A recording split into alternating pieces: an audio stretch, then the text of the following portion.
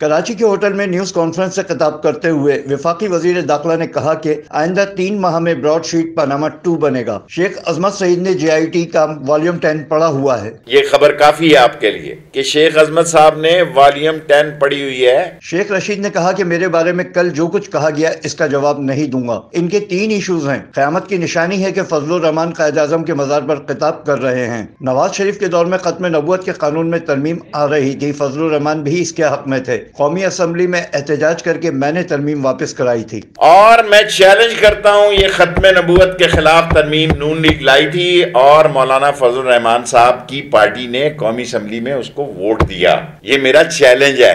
मैंने आके इस पे कौमी असम्बली में इनकी खिंचाई की और सूरत हाल जो है वो मुख्तलिफ़ निकली और फिर इनको 24 घंटे का मैंने नोटिस दिया। इन्होंने कहा, बहत्तर घंटे कर दो। फिर मैंने बहत्तर घंटे किया और ये इन्होंने तरमीम वापस ली। खत्म नबूत पे। शेख रशीद अहमद ने सिंध हुकूमत से दरख्वास्त की है कि कराची को महफूज बनाने के लिए सेफ़ सिटी प्रोजेक्ट में रेंजर्स के साथ ताउन करें। F I A cyber crime के मुतालिक बहुत शिकायत हैं। इनशाला सिंध में जो एफ़ आई ए की शिकायतें हैं वो भी दूर होंगी। और कोशिश करेंगे कि अदारों में बेपना सलाहितें हैं। नादरा में एफ़ आई ए में एयरपोर्ट्स में भी ख़ास तौर पर बेहतरी के हालात पैदा हों। और हमारी अब ये सबसे बड़ा टास्क जो है कि कराची सेफ़ सिटी मैं सिंध हुकूमत से कहूँगा कि ये दस हज़ार कैमरों के लिए। वज़ीर दाखिला ने कहा कि जब इस्लामाबाद में अपोजिशन जमातें एहतजाज कर रही थी बिलावल उमरकोट में जश्न मना रहे थे। उन्होंने लॉन्ग मार्च के नाम पर एक रैली निकाली है हुकूमत मुंतजर है कि रैली कब निकाली जाएगी? कैमरामैन साकिब अली के साथ Afzal Khan C one ten news Karachi.